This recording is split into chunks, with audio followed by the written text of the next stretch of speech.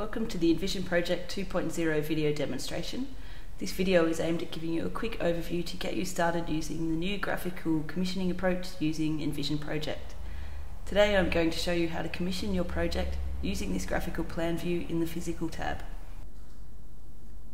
Before you start, you will need EP 2.0 or higher, as well as a reflected ceiling plan which can be a JPEG, a WMF, an EMF, a PNG, a BMP, a TIFF or a GIF.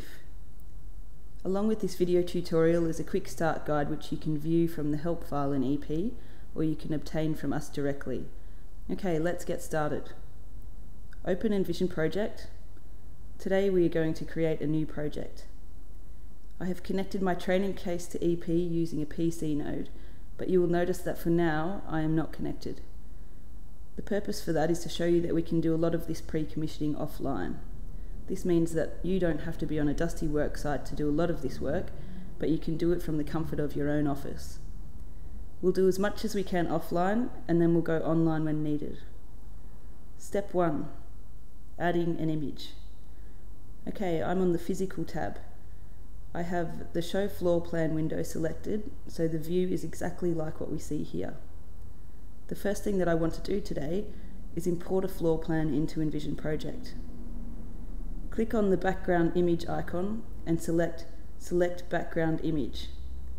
Browse to your image file. The image is inserted into the project and I can use the scroll on my mouse to zoom in and out, or I can use the slider in EP to do the same thing. Step 2. Adding fixtures. Up on the toolbar here, I'm going to click on the round lamp icon. For me, that matches what I have in my training case nicely. If you have a square or rectangular lamps in your project, you can choose those icons to the right.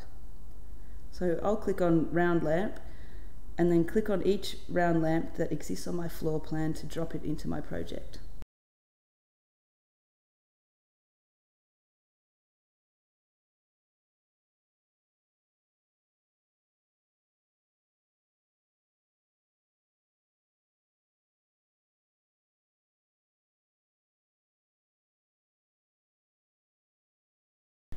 Drawing the fixture groups. Okay, now we want to draw the fixture groups. On the toolbar, select the dotted line icon from the drop-down menu and select Draw Fixture Group. I want my lines to be straight, so I'm going to untick the Draw Curved Lines option. Now in the storeroom here we have two downlights physically connected, so I'm going to draw a line from the first round lamp to the second. The process is to click once on the first lamp, then double click when you want the fixture group to end. Repeat this process for the entire project. Click on each lamp you want in a fixture group, then double click to end that fixture group.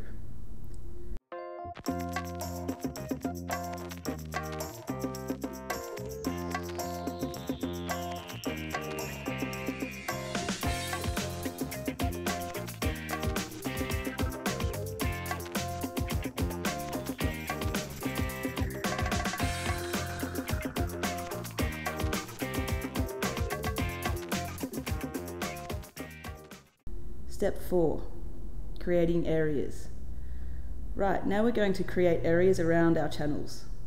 Select the Draw Rectangular Region icon from the toolbar. From the drop down, select Draw Area Region.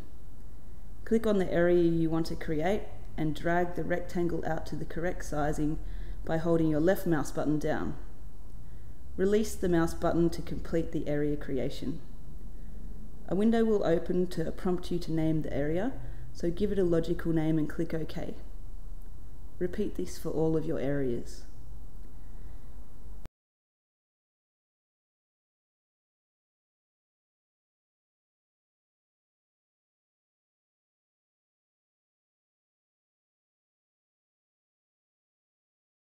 Here, now you can see that I have an area which is not rectangular. Simply click on the Draw Polygon region icon and create your area manually. I have clicked once to start my polygon, then clicked on each of the corners where I want the perimeter to be, then I double click back on the start to complete my area. Name your area when prompted and repeat for all of the areas in your project.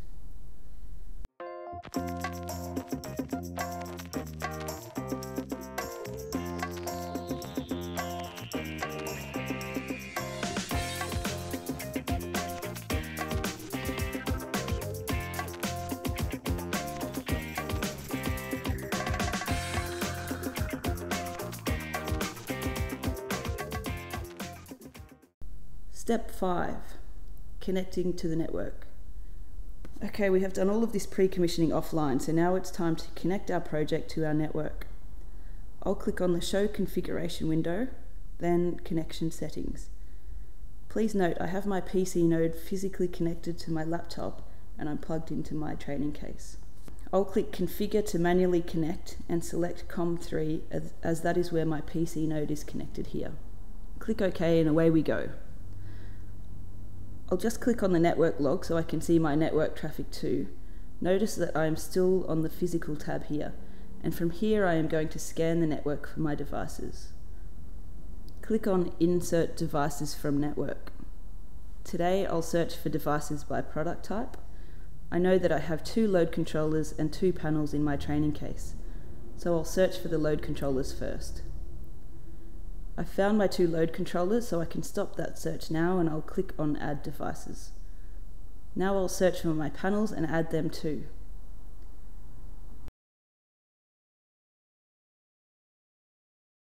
Step 6. Creating a distribution board. Right click on your plan and select Add Distribution Board. Select New Distribution Board and name the distribution board. Now I'm going to drag and drop the load controllers that will physically live on that distribution board. Now you can drag and drop the whole DB onto your plan view where it lives in the real world physically.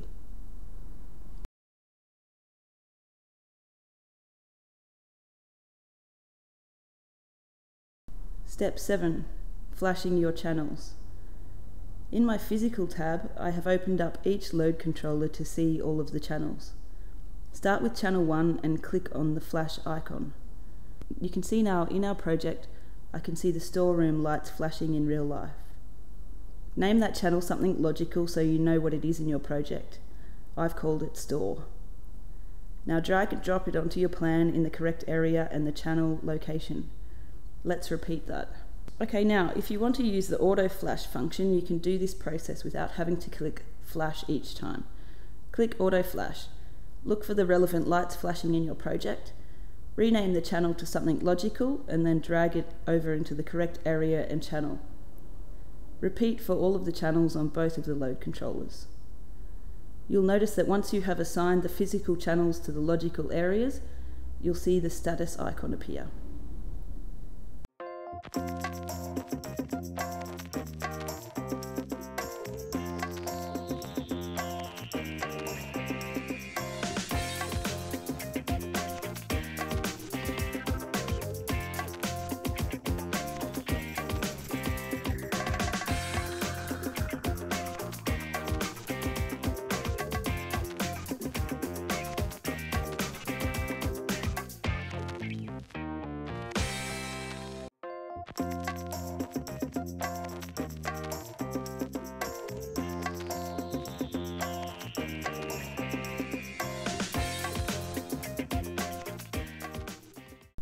Step 8. Download to devices. Okay, let's download all of this information to our devices by clicking on Download to Devices. Let's do that for both load controllers. You'll notice that the pen and paper icon disappears when you have done that.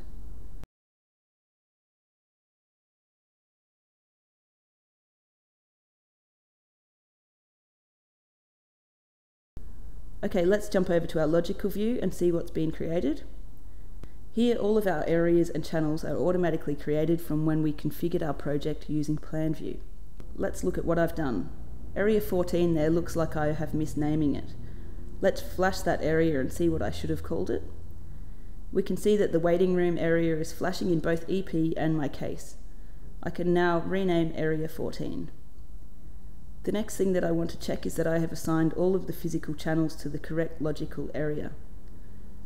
To do this, I can use the virtual panel on the toolbar to send an Area 0 preset 4 message to turn all of our areas off.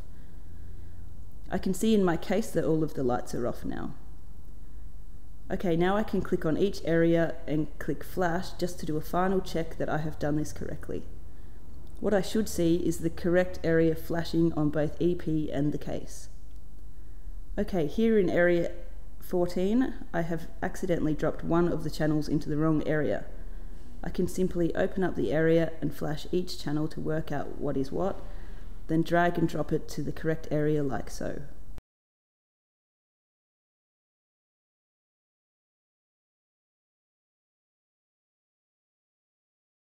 That's a very quick demonstration on plan view. There are many more features in which you can use, but I hope this is a jump start to get you going with the new tab in Envision project. Of course, if you prefer the original method of commissioning, that is always available to use as per normal.